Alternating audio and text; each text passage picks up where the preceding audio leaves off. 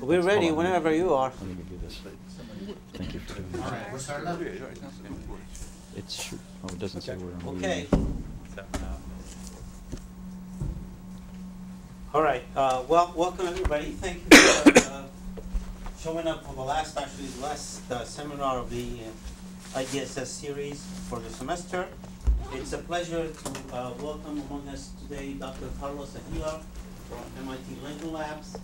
Uh, Dr. uh, Aguilar is a member of technical staff at the MIT Lincoln Lab in the uh, Chemical and Biological Defense System Group uh, he received his BS from uh, in mechanical engineering from University of Michigan, and his MS and PhD in biomedical engineering at the University of Texas Austin.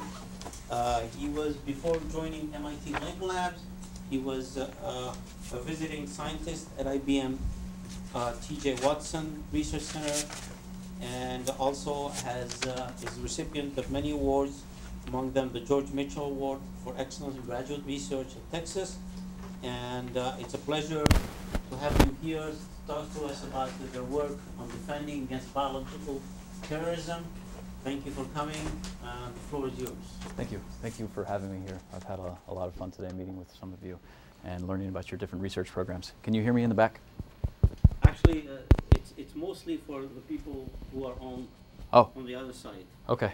Hi. So, but uh, for us, you may, you may have to speak up. Okay. Um, let me put this.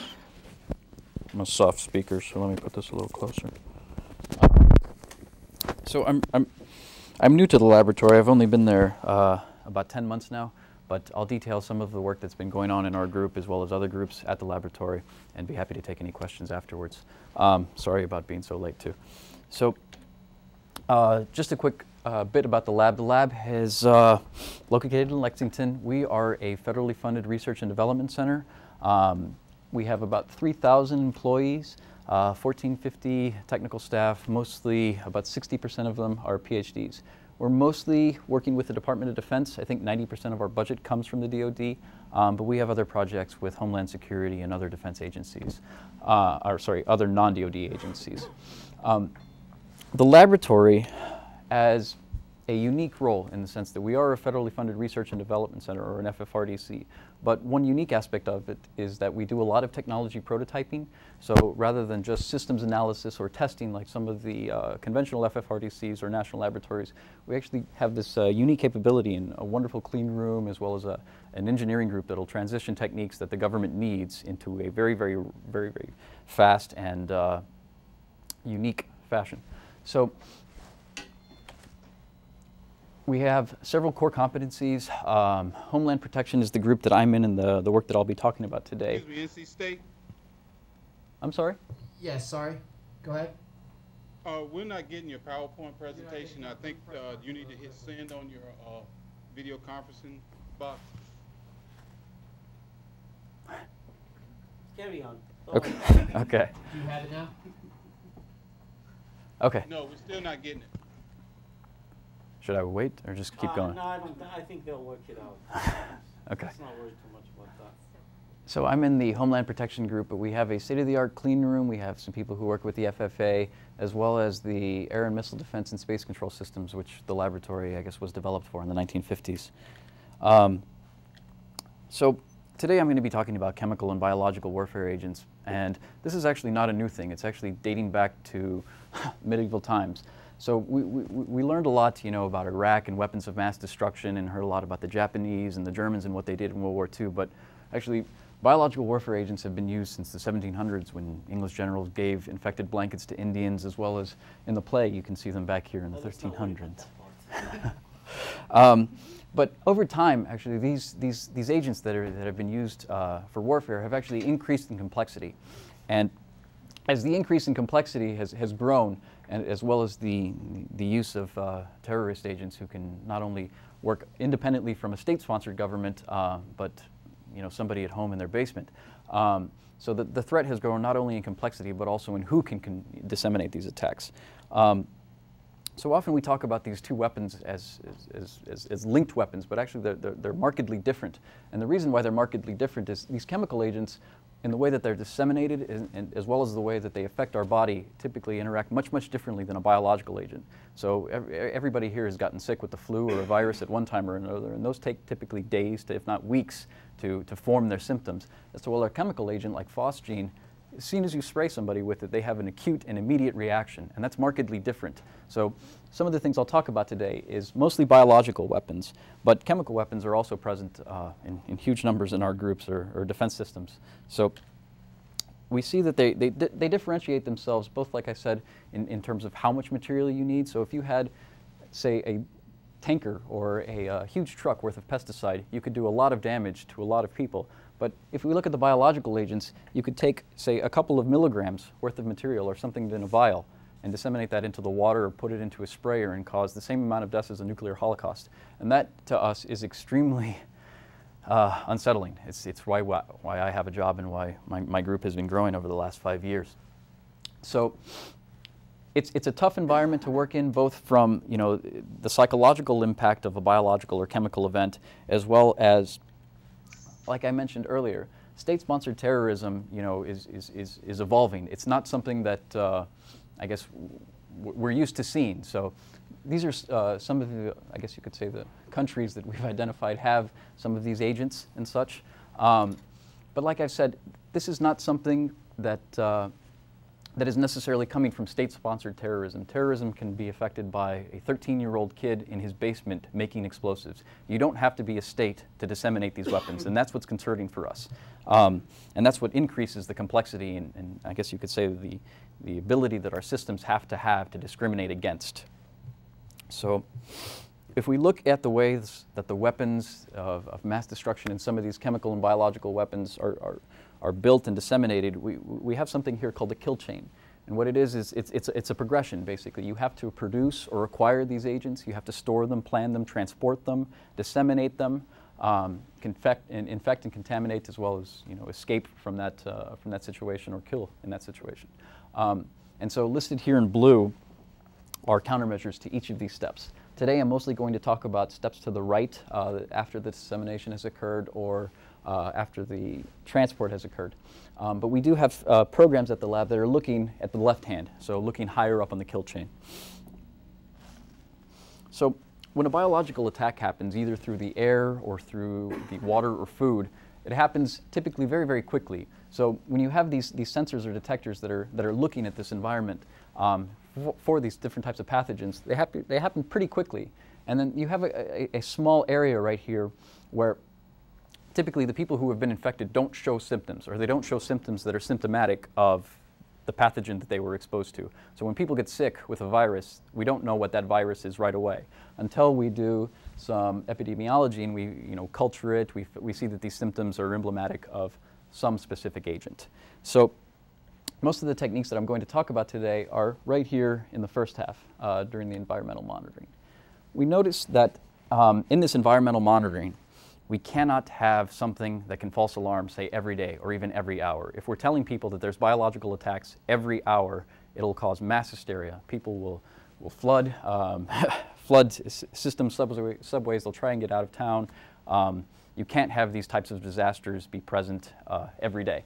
So we have, to we have to work on extremely low false positive rates, um, as well as have an extremely high specificity. So things that are in the ambient, things that are in the ambient, Bacillus subtilis, which is a direct cousin of anthracis, is, is present everywhere.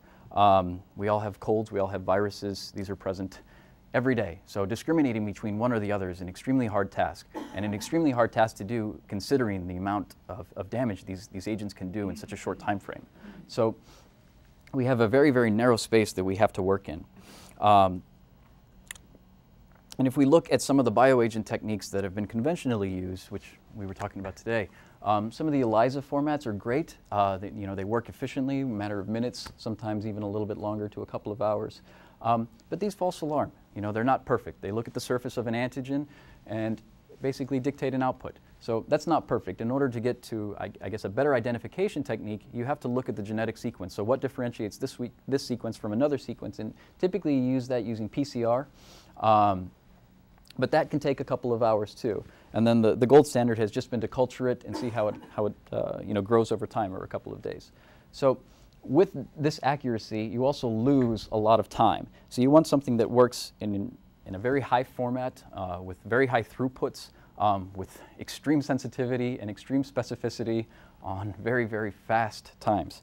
So it kind of, you have to think about new ways and architectures in which we can do this. And we do this in a graduated format. So this is an architecture that's, that's currently in the BioWatch system, the, the BioAgent uh, warning system. It's called the BAWS. Um, and what it does is it samples air, and it samples air through, you can, sorry, I'm, Use the, uh, the mouse just, as a cursor. um, okay. Right.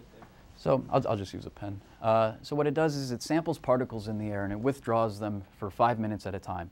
And what it does is it steps down these particles. And so it, you, you, you see these particles line up in a single fashion inside a column. And then what it does is it, it takes a trigger or it takes a, a system that I'll talk about in a second and it looks at particles individually one by one. And so when this trigger alarms or when it looks like there's a bioagent attack that's, that's currently uh, going on, what'll happen is it'll collect more sample. It'll withdraw more of the ambient and then send it to a, a confirmation sensor or an identifier. So the identifier that I'll talk about today is, is, is unique. It's a, it's a biologically inspired um, identifier.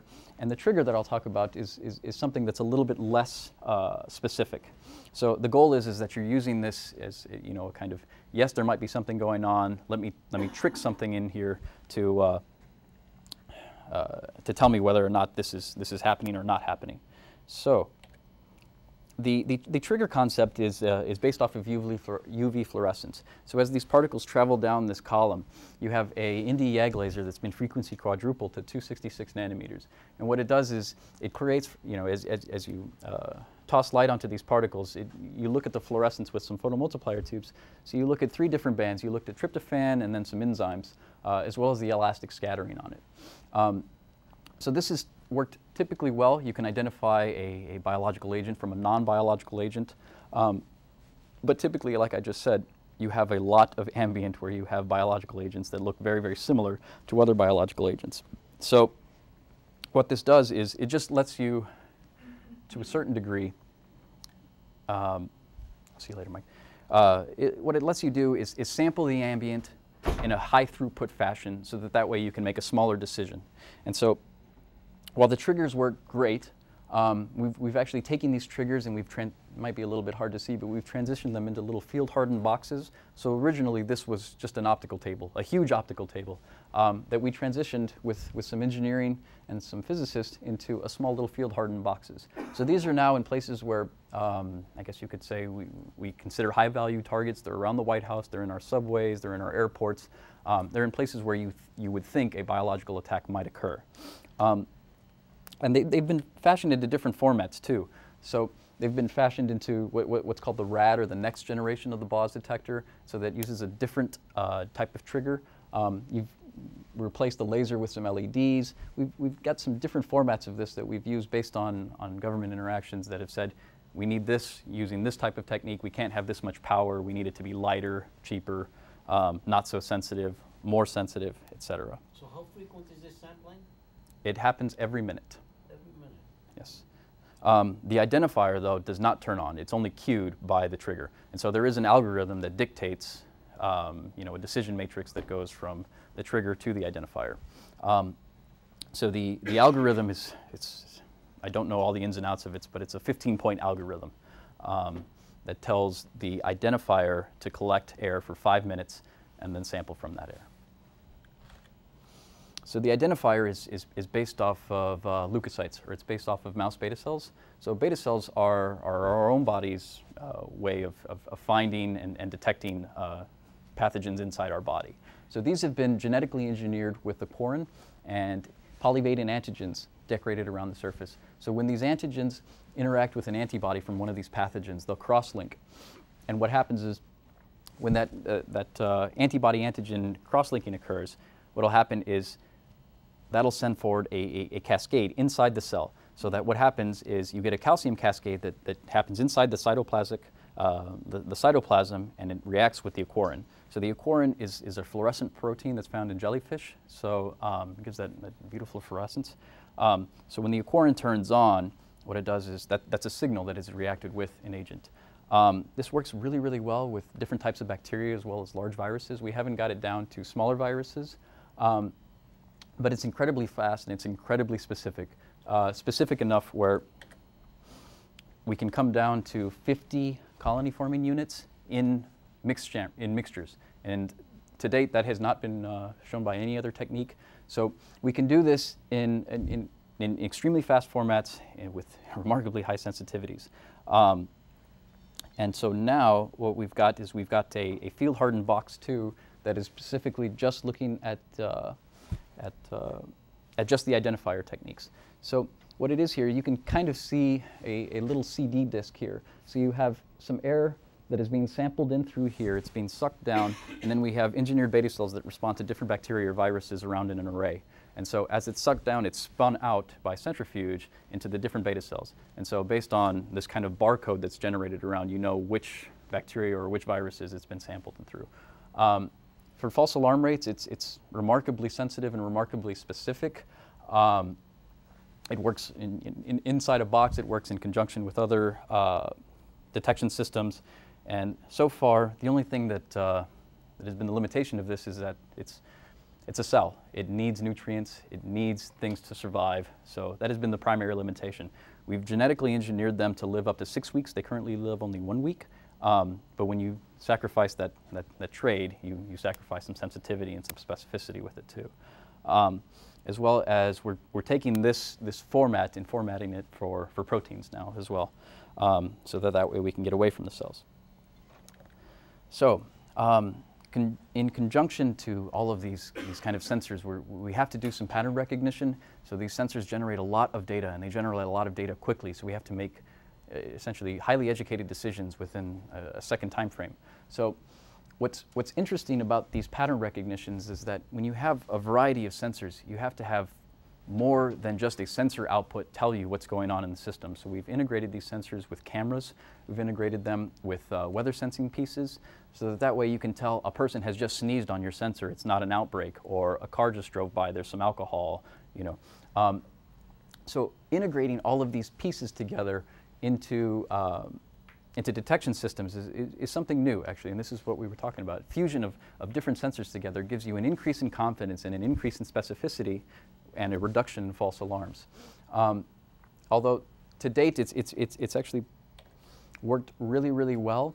Um, this is one example of a highly, I guess you could say, uh, parallel algorithm where you're taking pieces from different sensors and getting them to talk to one another. So you can see you have five or six sensors down a hallway, but getting them to talk to one another is, is, is not easy, as you, as you know that. Um, and getting them to talk to one another where this one can increase its specificity, this one can decrease its specificity has not been easy as well. So what we're trying to do is take a multi-node format towards sensing.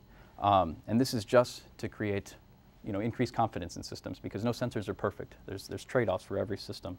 So this allows us to do several things beyond making educated decisions. Uh, for sensor networks, it also provides a nice little platform for us to do disaster management. When disasters occur, you have people talking to one another who normally wouldn't be talking to one another. You have firefighters talking to cops, talking to people from Homeland Security. And so this fusion algorithm allows us to possibly take all those inputs into a format and disseminate it very, very quickly to agencies who wouldn't talk to one another.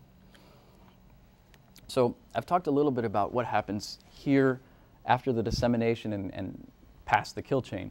But in, in looking at uh, in looking at transport, you, you have several pieces. So each of these sensors or each of these um, detection techniques that are protecting against these, these, these pathogens, these chemical warfare agents, these chemical warfare agents or these pathogens have to come in the country, if not be stolen from some laboratory. So what we're, we're, looking at specifically now is if something's coming into the country, if something's coming in through, say, so these cargo containers or coming in across the border, what techniques can we use to interdict or intercept those techniques? So we've got different programs. We've got what, what's called the Trust program, and what this is is it's, it's a live-in sensor that sits inside every cargo container and monitors and samples the air. Um, and so this is supposed to, I think, take take effect in 2011. The SafeCon program looks at these cargo containers once they've been uh, unloaded into uh, the port of entry. And then the non-intrusive container monitor looks at a broader variety, so not just the port containers. It looks at vehicles, it looks at people, um, and looks at tech. This is really looking at new techniques that can non-invasively detect threats from points of entry where we know people have, say, smuggled drugs or smuggled uh, other agents into the country. So this, this format is new. It's actually something that we're currently pursuing right now. And it, it's, it's actually interesting um, in that it's allowed us to use our techniques in a completely different format. So we've never, say, done sensing through a metal wall before, but now we're using that, uh, that experience to do that now. So in, ah, okay. So finally, um, I don't think this is the last set of slides, but this is a, a, a new program at the lab that has just started. And um, what it is, is it's a therapy. Um, mostly the laboratory has not been concerned with therapies, but uh, what this is, is say Louis Pasteur here developed, he got his Nobel Prize for vaccines. Um, so we know viruses, we know bacteria can, can in, in, invade our body. Specifically viruses can invade our body, they can become more resistant, less resistant over time. So what some of the people in the lab have done is create what's, what's what they call the DAC, or the, the double-stranded RNA activated caspase. And what this is, is, is identifies specifically only viruses. So viruses, they, it's, it's funny how a virus acts. It's, it's almost like a sensor within a sensor in that it, it tells certain cells to kill themselves, tells certain cells to multiply. It, it's, it's, it's incredibly sophisticated. Um, but the thing that it does the most is it tells a cell to die. So what the DAC does is essentially mitigates that. It finds this double-stranded RNA that's inherent to viruses and turns it off, if you will. Um, it, it's worked extremely well in mouse trials so far. Um, you can see how much weight loss has occurred for somebody, for a mouse that hasn't had uh, this DAC treatment as opposed to one that has. Um, and so, so far they're, they're trying it with a couple different viruses, um, but it seems promising. They've, they've actually cured the common cold, if you will. Um, so is this, is this an injection or something? I mean, what, what, what is it? It is. In, in form of what? Liquid form or what? Yes. Um, so We've talked a little, you know, we, I, haven't gone through in too much detail about some of these systems, but we've developed a, a pseudo expertise in, in biochem defense that have allowed us to, to get into new markets, new markets that, that Homeland Protection currently seeks. Um, I talked a little bit about disaster management earlier. In Hurricane Katrina, you had a lot of different agencies talking to one another or not talking to one another that propagated this disaster further. So here, what we've done is, is taken some of this fusion algorithms and such and leverage them in, in, in, ways that permit these agencies to talk to one another more efficiently and make more educated decisions. Um, a new area that, that's currently my area of focus is, is, is, forensics. We're taking some of these chemical signatures and applying it, like we were talking about earlier, to DNA profiling. Um, and then lastly, we, are starting to look at explosives and drugs. Um, the IED problem in Iraq and Afghanistan is a growing problem. The joint, uh, uh, what's it called, JIATO, the Joint IED Defense Organization has, has, has put a lot of money and, and, and an effort towards uh, mitigating the threat of IEDs. And so we've taken a, a, a small piece of, of, of, our expertise and leveraged it in this format. So we look it up here, we, we look at the IED chain, and we notice each of these does have countermeasures too. And so you have facilities and material associated with IEDs. People who need to, people who make these bombs have signatures. Actually, the persistence of some of these these these nitroaromatic explosives is incredible. The the residues are left on a person for hours, if not in their hair, on their skin, um, as well as in their blood work. So. We can look at that and identify, you know, up the kill chain, this guy was a bomb maker two weeks ago, this guy was a bomb maker yesterday, as well as after a blast has happened, you actually do have traces of, of, of stable DNA left on a, an IED event, or I'm sorry, not an IED event, on a, on a bomb, uh, both in fingerprints as well as DNA. Um, and then lastly, correlating all of that together, you have suspects or detainees that have been correlated. We think this guy may have been associated with this DNA. What's, you know, could he have been? So what's his DNA profile? So what we did is we've taken all of these and, and, and, applied them in different formats. And the one that I'll talk about here is what we call a, uh, the ANDE program, the Accelerated Nuclear Detection Equipment.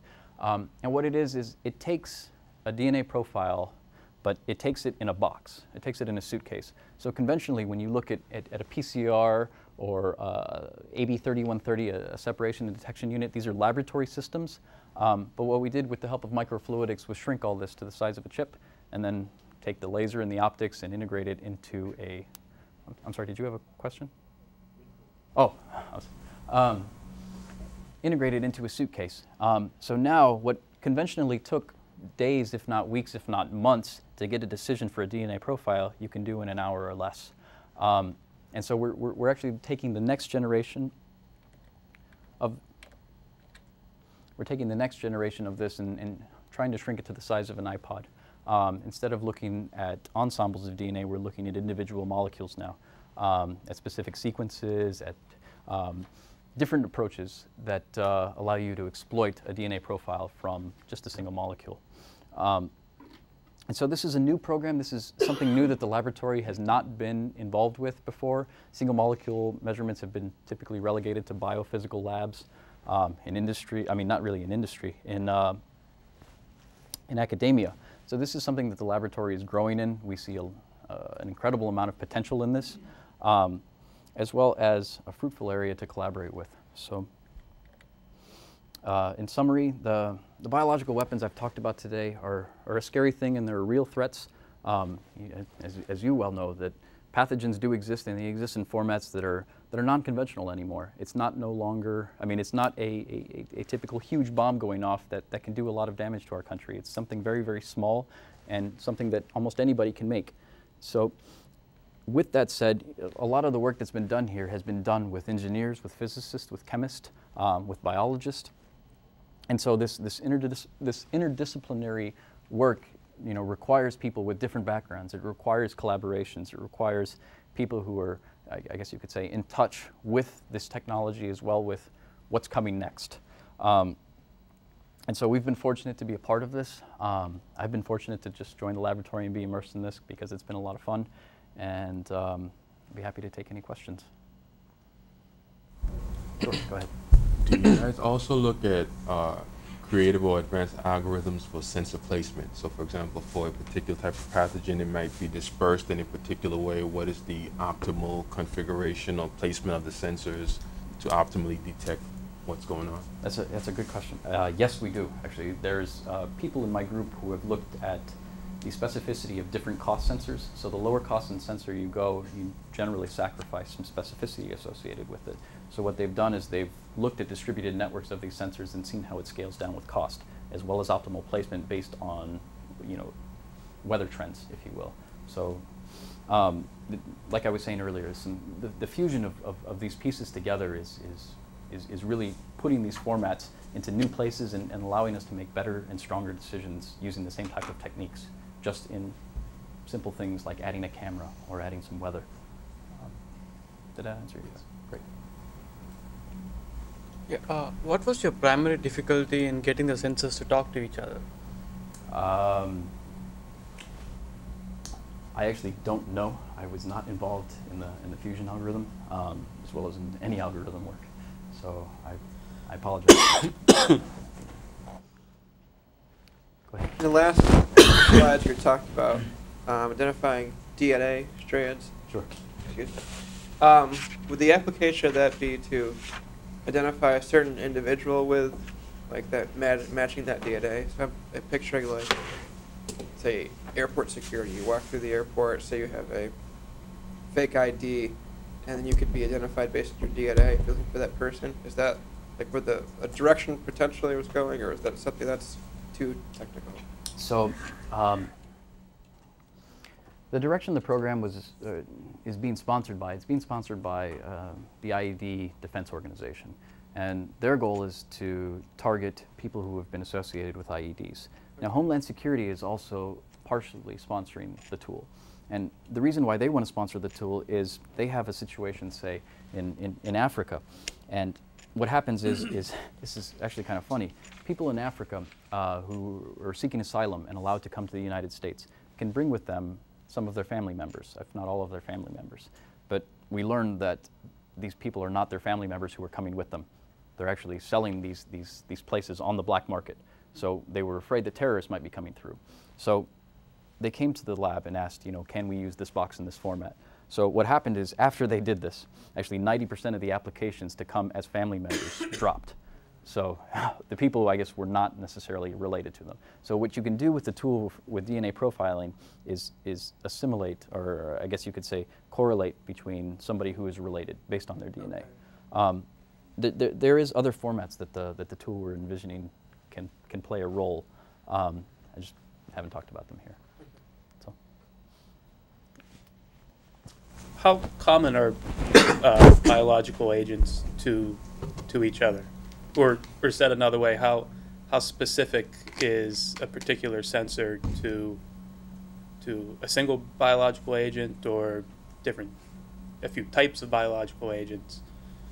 So, the the, the, the leukocytes that uh, I spoke about earlier, there's they're specifically or genetically engineered to respond to one type of, of, of agent. Um, but the antibodies on the surface are, are, are what dictates that specificity. Um, so they're remarkably specific um, for, for what they are. Um, I think I showed false alarm rates of, oh, look out. Um,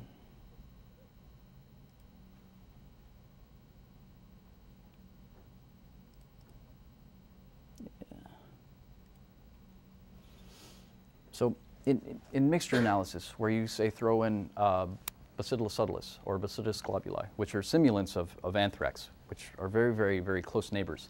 Um, in mixture analysis with it, the, the canary actually worked incredibly efficient, um, both to active colonies per, per liter of air, in, in 20 colonies per liter of air. Um, that's, that's an immense amount of specificity for such a small fraction of, of agents, and that's mixed in with other agents. So it's, it's incredibly specific, um, but it's not perfect. Um, you, still, you, you still see false alarms here. So with that said, you know, the, the gold standard of identification is to look at the DNA. So the DNA differentiates between every individual or every pathogen. Um, so that's why some of these, you know, PCR and, and other techniques are, are held in better standards. So the next generation of sensors that we're looking at specifically addresses those things. Um, I just didn't have slides on them for, for this. So, can you identify any potential pathogen which has not been known before? Yes. Okay. uh, d- um, I don't know if Canary can do it, um, but there are other sensors that, yes, can. Now, in in your DNA prof- profiling, uh, does, th- does that require a, a physical contact for- with the, your machine or what? So uh, the way that it's it, it's currently being used right now is a buccal swab. So I see. uh, the administrator or somebody using the tool will take a buccal swab and they throw it into a little cartridge, and so the cartridge comes down, it's sealed, and 45 minutes to an hour later, it comes out with a DNA profile. So you have to have uh, somebody under suspicion to carry out such a thing, right? Uh, not necessarily. Um, the, the tool uh, also works off of touch DNA or fingerprints. Uh, you, you leave DNA every time you, t- you touch uh, someplace and you have a fingerprint left. Um, the only problem with that is that you, you tend to have lower confidence in those. So when you, when you amplify pieces of DNA, you need a certain amount of material to start off with. Um, and so when you run this PCR process, you, you start to get false peaks. You start to get into, uh, I guess you could say, some amplification problems at such low copy numbers. Um, so right now it's being used as a reference sample, but the goal is to take it to touch samples or increase confidence with touch samples for the IED events.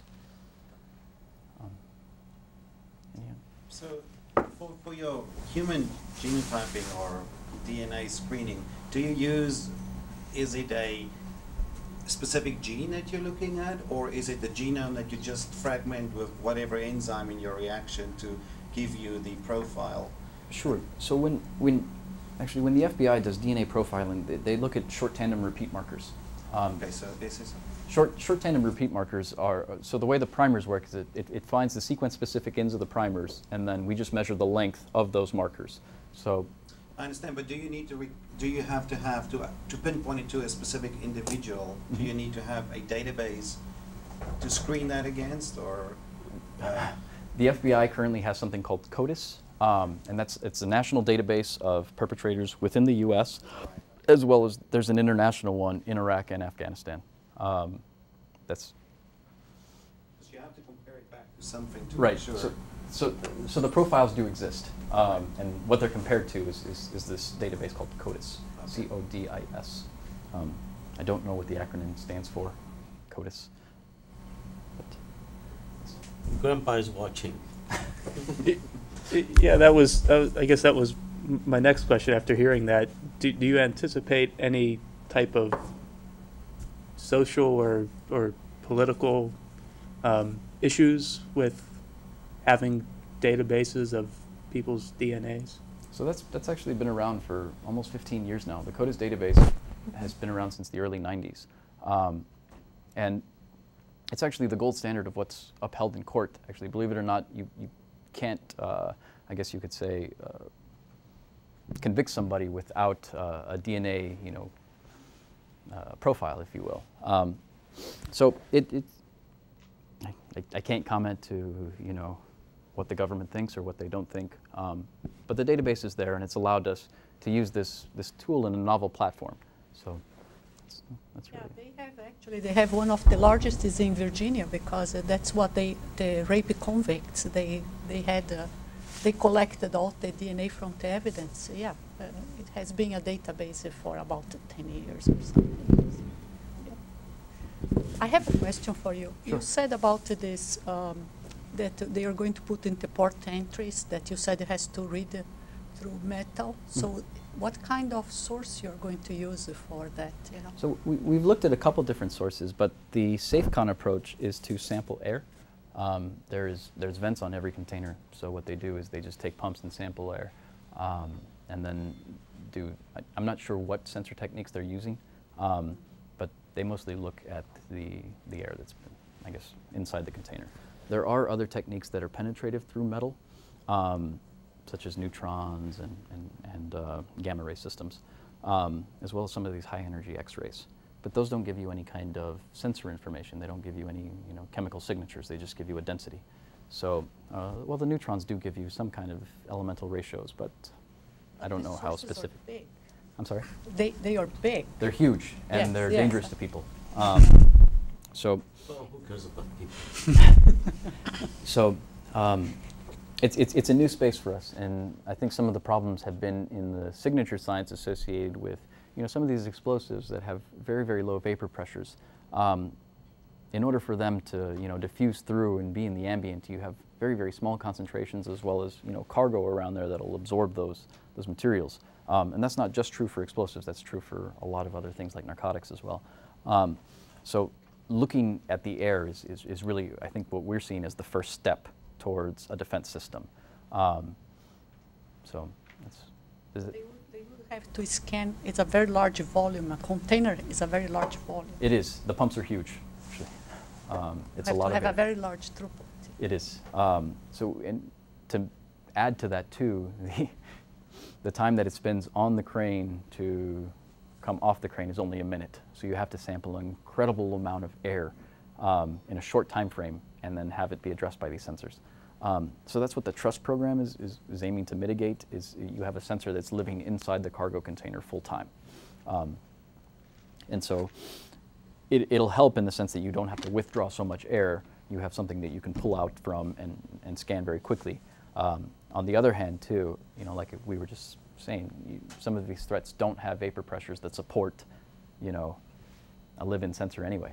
So, um, but it does, you know, it does kind of pose an interesting detection concept in that you have to have more than just one technique come at it. Um, because you can't just, for example, withdraw the air. You might need to have something penetrating, you might need to image it, you might need to do a family of techniques to get at, say, the small threat or, or, or the threat we don't know about. So, did that kind of answer your question? Great. Any other questions? Yep.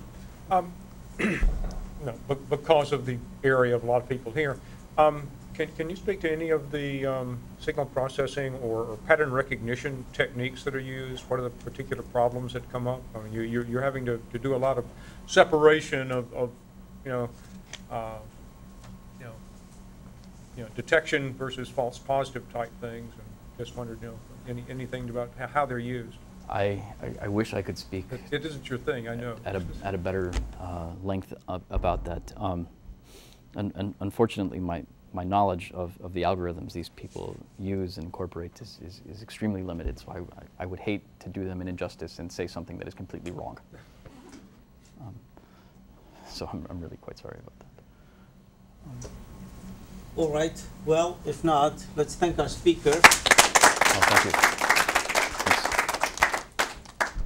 Thank you. Very Sorry about uh, going so quickly through some of these. I, I thought I was late, so I had to speed up. Good,